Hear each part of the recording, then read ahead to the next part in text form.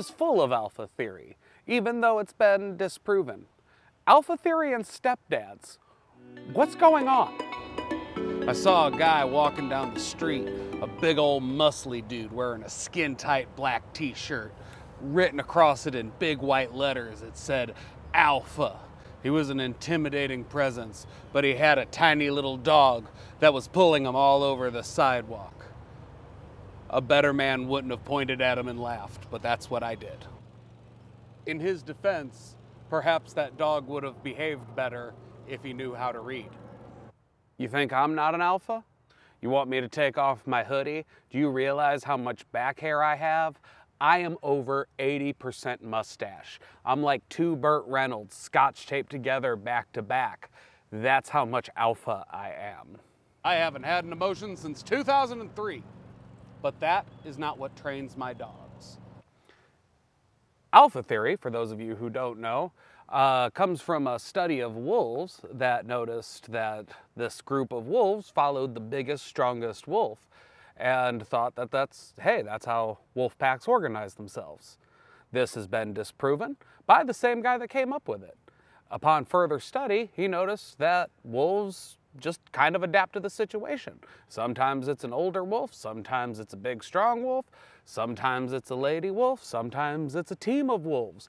Daddy daddy, daddy mommy, cub wolf, whatever, whatever's clever, man.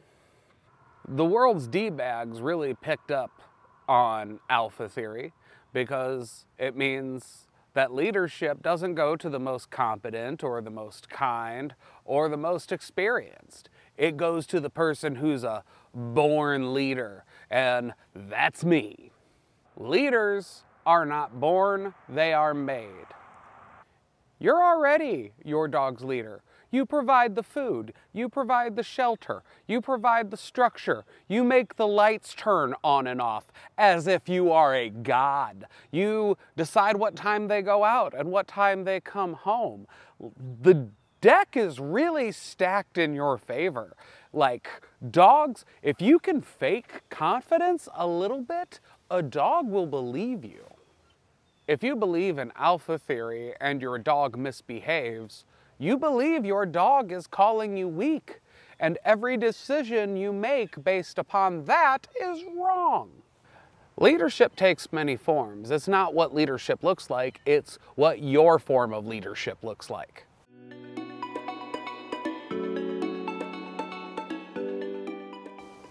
Got some whores in this house, got some whores in this house. See, certified freak, seven days a week, that's too much freak.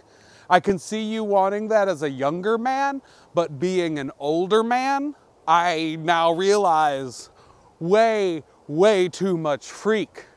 How about certified freak three or four days a week, one day for chores, and then that's two days for yourself. That's a good freak life balance.